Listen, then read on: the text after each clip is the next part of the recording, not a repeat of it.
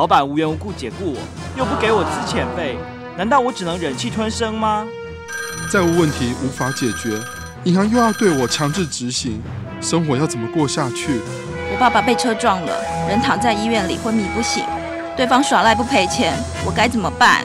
警察先生，我我我没有卖毒品，我我是冤枉的，我可以找律师帮我吗？我被老公打，我想要跟他离婚，又没有钱请律师，要怎么办？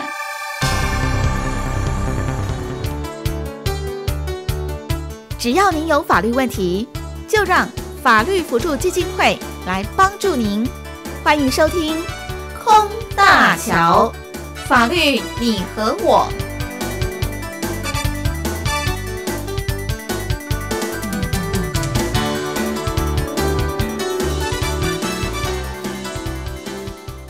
空大法服，处处贴心。法律辅助，理性相挺。哎，今天是一个新的声音，又到了每周二的主题单元“法律你和我”了。今天呢，天宇在法律辅助基金会访问到法务处的专员陈明元陈律师，是一个邹族的帅哥。好，那呃，先问邹族帅哥，现在原住民族有几族？呃，目前官方认定的是十六族。好，答对。还好你有跟上时事。那请问最新的两族怎么念？呃，最新的两族它是原本的南州族了，一个是叫做甘纳甘纳夫，哦，一个叫做萨瓦鲁啊。可是其实比较怪的是，因为我们都叫他萨瓦鲁啊，可是他在实际上面认定叫做拉瓦鲁啊。是。对，所以我们也搞不懂为什么两边会有差距了。好，我以为你会咬到舌头。好，因为很多媒体不晓得怎么念这最新的两组，那个有点绕口哈，再示范一次好吗？甘纳甘纳夫，然后跟萨瓦鲁瓦。哦，萨瓦鲁瓦跟甘纳甘纳古。对。好，这是从原本的邹族分支出来的，还是他们原本就存在，但是一直都没有被采认？呃，他是从，他确实是从周族我们现居地搬到那地方去的，因为我们跟他差蛮近的。然后他们是因为他们后来成为两个亚族群了，哦，然后他们又跟当地的像布农族、哦排湾族有混到，然后衍生出新的我们讲说新的族群，然后他们也有自己新的语言跟文化，虽然说语言的上面是有点雷同，哦，那可是我们还是会认为说他们就是他们自己也承认了，其实我们是。有比较亲的关系，可是因为今天现在是说，呃，他认为他自己不一样的话，哦，那我们也是尊重他们的想法。然后，可是我们都会认为说，哎，他其实就是早期的南州族，可是他们现在是呃独立出来了这样子。哦，对，听说是采认呃新族群的标准是语言、文化、记忆都不一样。呃，对。对，就是我我作为刚刚说，就是语言现在已经有，因为他们有很多的不能语的东西都会在里面，所以他们有衍生出一个比较不一样的语言啊。那可是，在有一些歌谣上面，或者是说老人家在对谈，其实是没有问题的了。对，其实我们的语言其实呃还是有一点点会相通的。对，好，好，拷问完毕。好，我们回到这个最新的原住民时事哦。那经常原民议题或者是原民时事浮上新闻版面的时候，通常都是负面的。那真的是有一点遗憾。每次法律你和我要请到相关的律师来谈原民议题，我们都要先以社会新闻好 来讨论。这个最近这几个月的，那又是听说动保法修法也跟原民有关呢。嗯，对啊，呃，就是前阵子他。发起是那个孔文吉立委嘛，哈，对，然后在确实在公听会上面有非常猛烈的交火，对，是，那时候也有在现场稍微看到一下这样子，对。好，那其中动物保护法为什么会跟原民有相关？是不是延伸到了狩猎或者是这个传统领域呢？对，因为现在按照目前的野生动物保育法二十一条，它确实二十一条之一了哈。它因为这个我们讲说原住民族基本法的规定哈，就是有关这个狩猎。记忆就是记忆的部分，哈，跟传统文化的话，还有自用，这其实在原本的条文里面有。那可是，在目前的这个我们讲说野生动物保育法里面，就是之前的野生动物保育法里面是没有这相关的规定，所以它基于这个原住民族基本法的这个母条文的规定，他们后来在他们的这个办法里面，就是我们讲说野生动物保育法里面特别增订了这二十一条之一，哦，那里面是规定说，呃，当原民。在行使这所谓的传统生活，哈，在践行他的传统生活，或者是这个祭仪的行行为，祭仪就是说在祭典啊，啊祭典活动的时候，对啊对对，然后他们可以去猎取这个所谓的野生动物，哦，因为那个原本就是他们生活的一个一个部分。那可是他的这个争议点是在说，呃，这一次立法委员他把所谓的自用，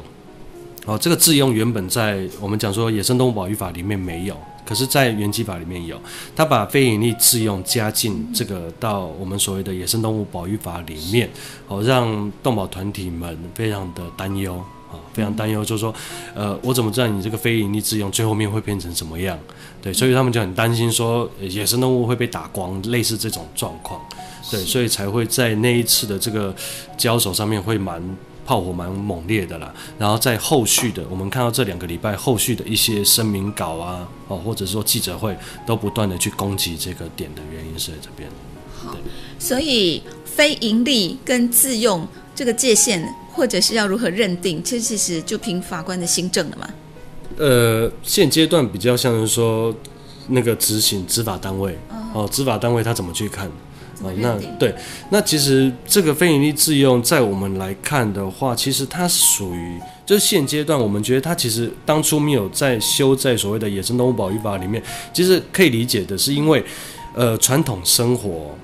它就包含了这一个区块，就是说自用的部分。对，因为它的像是说我们前阵子几个实际的案例在发生的时候，像是说为了母亲，哦，就那王光禄为了母亲去打三枪这种行为，哦，然后这个潘志强视线的这个部分，就是说为了女方的家长，然后去拿山肉来招待，这种其实都是在他们的传统的惯习里面一个。他们这个是非常理所当然的事情，就是说，呃，老人家要吃肉，因为呃，我因为我们都很多都知道说，因为老人家他会很，就是尤其是那种年纪很大的哦，他还没有办法走到山里面去的那种，他们会没有办法忘掉那种小时候那种吃我们讲说山肉的这一种习惯，那其实就是一种生活的习惯。然后今天他们在做这个行为的时候，他不被认为是传统文化的一环哦，他就认为说你这个就是要为了你自己去使用。哦，这就是执法单位。那可是这个部部分就变成说，执法单位常常会跟法院这地方，法院有时候会认为说这是属于传统文化。哦，所以说同样在我们讲说触犯这个呃野生动物保育法针对自用的部分，有些法院会认为说这是传统文化。哦，有些法院会认为说你刚刚讲的叫口腹之欲。对，所以都会有满两级的判决出来。那所以我我相信，其实孔文孔文基委员他可能就是呃看到这个现状，哦，希望说看有没有办法。在这个野生动物保育法，就是执法者他们在依据的这个法条里面增列这一点，好让未来这一种我只是单纯是在践行我传统文化的一个行为的时候，而遭这呃触犯这个中华民国目前的这个法律，然后甚至要被判刑的这种情形。对，那这样就会呃直接让听众朋友联想到到底是哪一个法要放前面。可是我想一般的听众即使经常收听法律访谈节目，也不见得知道原住民基本法。对，好、所以大家都在讲什么这个法那个法，最后就是没有提到原基法。可是其实原住民基本法才是一个大法，但是呃很少法官或者是执法人员会想到它，对不对？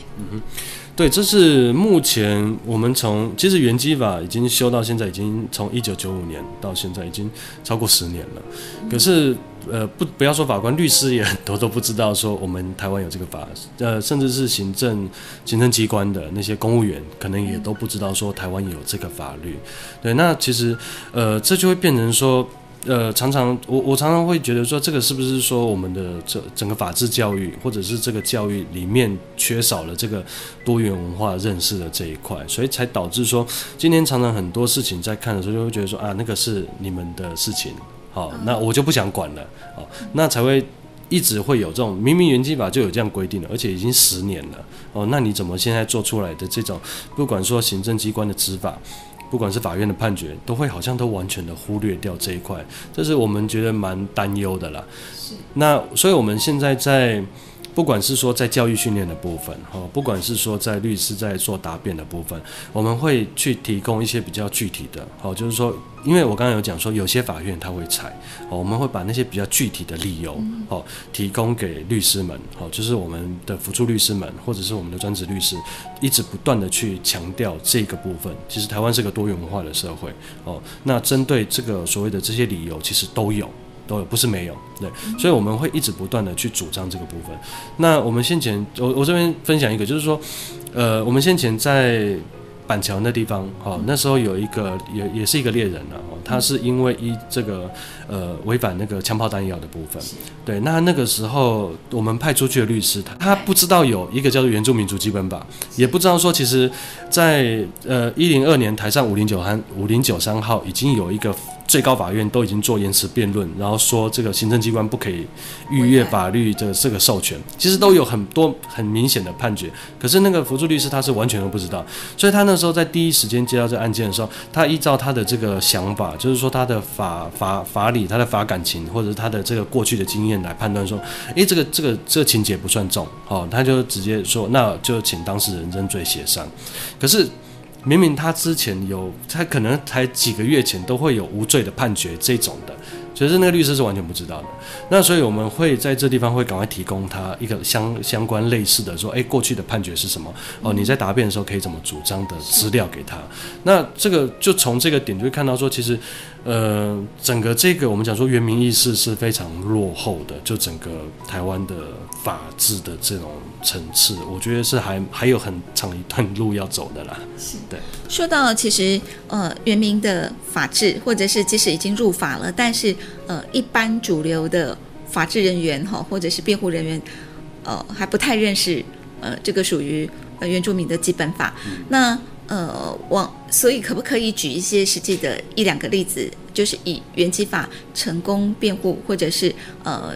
保障了原住民传统领域的这个文化权利的案例来跟大家分享呢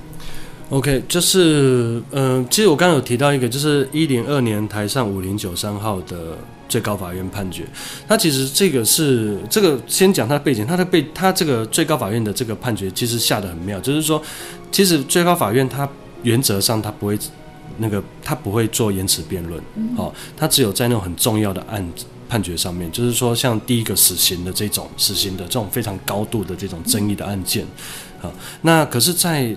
在这个案件，就是他这个当事人叫蔡忠诚的哈，在这个案件里面，他最高法院特别为了这个今天，因为他是枪炮弹药的部分，他特别为了这个案件开启这个延迟辩论，这让我们很很压抑，说，诶，他怎么会为了这种案件进行延迟辩论的召开？好，那他这个案件是说。那个申请就是我们今天当事人，然后他是持有那个我们讲说猎枪，好，那那个猎枪，它依照我们讲说目前的这个枪炮弹药刀械管制条例的部分，它是属于自制的猎枪。哦，那可是按照去申请登记嘛？因为枪炮弹药管制条例不是说要登记？对，那现在就比较妙的地方是在说，它下下面衍生出了一个就是警政署主管的，它是依照枪炮弹药刀械管制条例所修订的，叫做呃枪炮弹药刀械管理办法。好，他那个管理办法里面把自制猎枪定义的是非常非常严格的。好，他的自制猎枪必须要是那种，我不知道大家有没有看过那个早期那种电影里面有没有，就是子弹放进去，然后从前从前面这样子塞那个火药，然后接下来再拿一根柱子一直不断的去敲击的那种，就是你在做完一个这个装填火药的动作，大概要五到十分钟的这种动作。对，那可是，在在就是在这个案件里面，蔡忠诚这个案件里面，他是拿那个，我不知道大家知不知道，说那个有一种也在你是可以在五金行买到一种钉枪的底火，叫喜德钉，哦，它是专门打钉钉用的，打钉，它就是一个底火。他那个案件是说，他那个蔡忠诚他拿那个。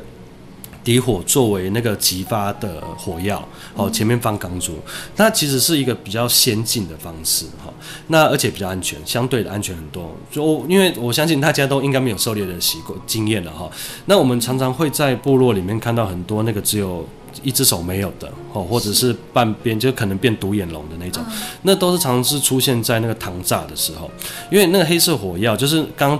讲的那个最早的那个对自制猎枪定义的那种枪械是非常非常危险的，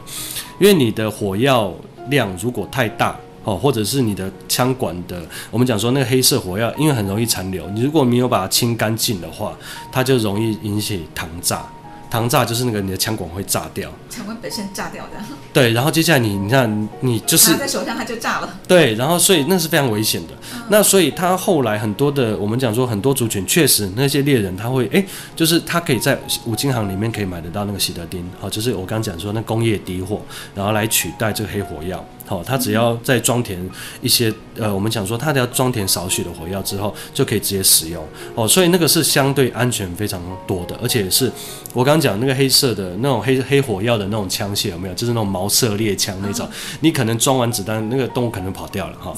对，然后可是那个西德丁的那种，它就是比较比较方便，哦，而且比较安全。那所以其实有太很多猎人他会采用这个西德丁去取代这个警政署定义的这种枪械。所以刚刚主持人你问到说他有没有去登记，他当然没有登记，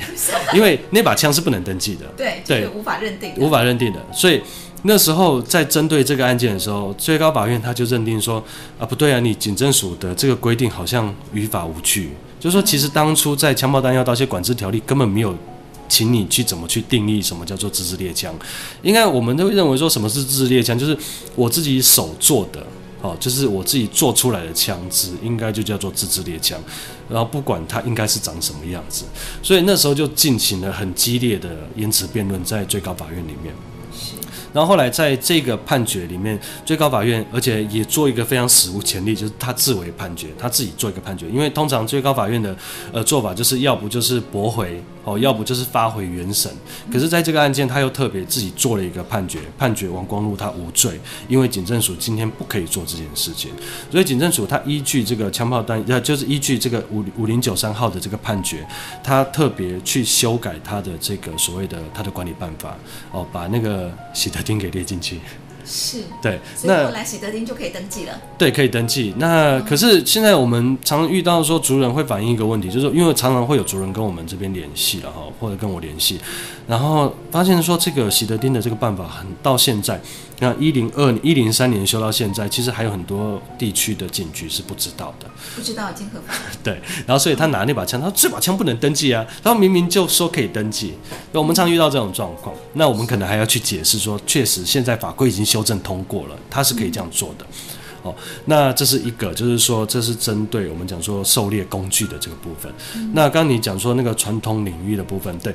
呃，其实，在也是在呃一百零二年左右吧，那时候有一个叫象，就是你知道，大家就有去过日月潭嘛，哈，日月潭大家印象最深就是旁边全部都是饭店，是。对，太多太多饭店。然后我们那个同样遇到一个案例，就是也是在一个，就是他因为日月潭是它是属于日管处的，日月潭风景管理处的，他把一块地叫做象山的那块地，象是那个朝向的象，对象山，对他把那块地要去做 BOT，因为他那个是属于呃日管处的那个，我们讲说日管处他所管理的一个范围。然后他把他游客中心附近一个非常大的一块地，哦，要他们说是港资啦哈，可是那个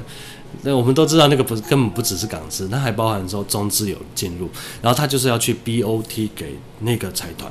哦，那那个时候就整个是前面都很顺利哦，就是整个就是要送环评的。那那个时候在日月潭，我不知道大家知不知道，日月潭其实也有原住民，对，叫少族。好，这虽然说他们的人不多，只有五百多人而已吧。对，那少族他们就是反弹的。他说：“你们要做这件事情，而且象山为什么会对他们来说反弹那么大？象山是他们祖先埋葬的地方。”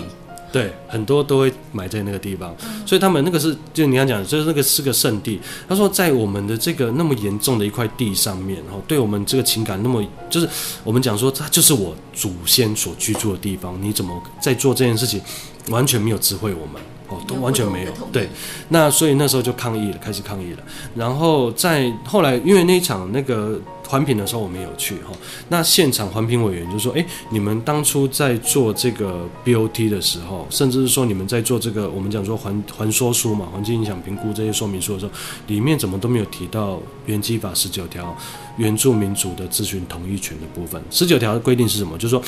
当今天所有的开呃二十一条二十一条对，他说当今天所有的开发案，就是不管是说学术研究啊，哈土地开发这些资源利用，你必须要经得当地原住民族的同意。那今天就很清楚，他就是在少主的传统领域上面，哦传统领域就是他们呃就是原住民族土地然后上面进行这个开发行为的时候，他是没有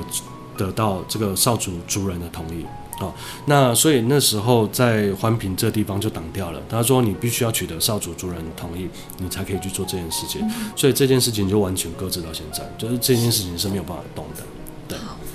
呃，两个成功的案例，其实我想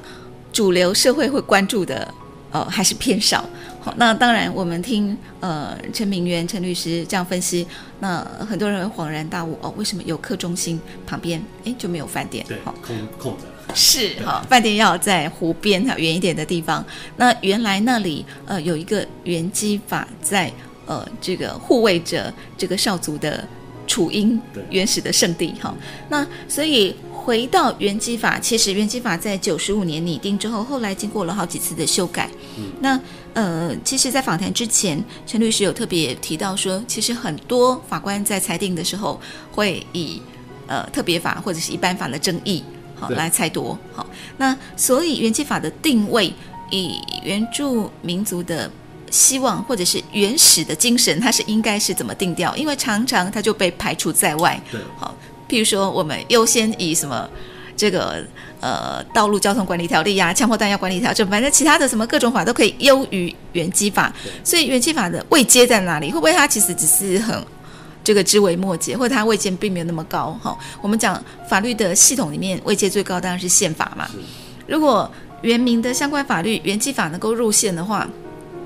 那当然一切就没有问题哈。可是呢，其实最多的盼望其实是原基法能够被重视，因为原基法如果能够落实，它其实等于是台湾十六族原住民的宪法了，原住民宪法了，是不是？嗯。对，就是说现阶段，这其实对于一个我们讲说，就我来说哈，一个这个中华民国法律训练出来的一个法律人来说，哦，这是非常对我们来说是一个非常大的障碍，因为。因为我们知道说依法论法的话，确实这个原基法在整个体力上面来看，甚至说就它的位阶来看，似乎都会没有办法去说服说，诶，它的至于说像是说今天这个森林资源的使用，至于野生动物保育法和至于森林法，似乎原基法都会被排在后面。哦，那我们就是现阶段再去，所以你知道吗？这个对我来说是很障碍的，就是常常会说，诶，好像这个我们必须要把现行的，像是说野保法，就是野生动物保育。法、森森林法这些要去修掉，我们原住民的权利才可以被保障。还有国家森林，对，就是说都会有这个，就是刚刚你讲的这个国呃，就是呃国家公园法这些东西，好像要去我们才可以去使用这个。我们讲说这个上面的一些资源这些，那可是就回到说原基法的这个这个条文内容来看的时候，它其实是在说。这个原住民族这个团体，哈，他今天他在这个在在台湾，哈，或者在这块土地上面，他可以成为一个原住民的原因到底是什么？哦，包含说他的这个呃他的宇宙观，哦，他怎么去生活的，他怎么去对待土地的，哦，这个我我随便举个例子，就是我自己的爷爷，哈，他就是一个一个这土，他就是整个。从头到尾都是没有受过中华民国哈他这些的污染，对不对？他其实那时候跟我讲，就是那时候他提到一个点，他说他到他到他到现在哦，他已经过世了哈。他那时候跟我讲说，他到现在都没有办法理解土地为什么可以买卖。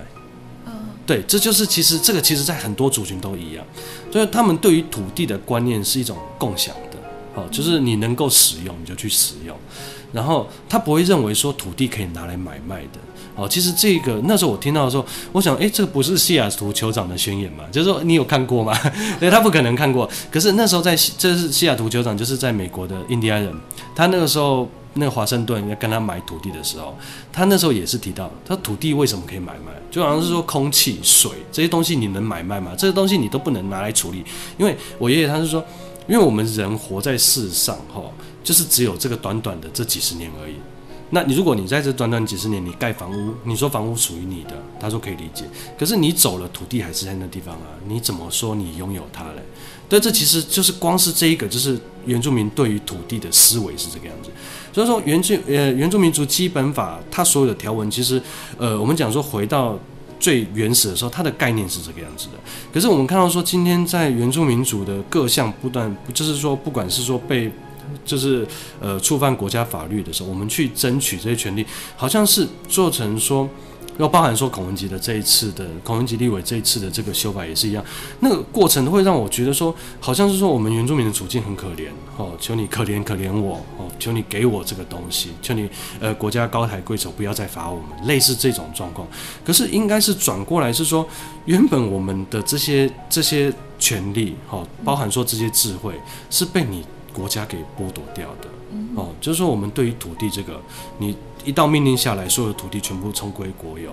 哦，对，然后让这个三老鼠，哦，让这个财团不断的进入开发，然后接下来再说啊，那全部都是原住民的事情。我想，哎，那你们怎么会这样子讲？就是说，我们可以去做这件事情的时候，然后你国家的权利把我禁止掉，然后再放任这些我们说外来者不断的去侵夺这一片的资源，哦，像是我们那时候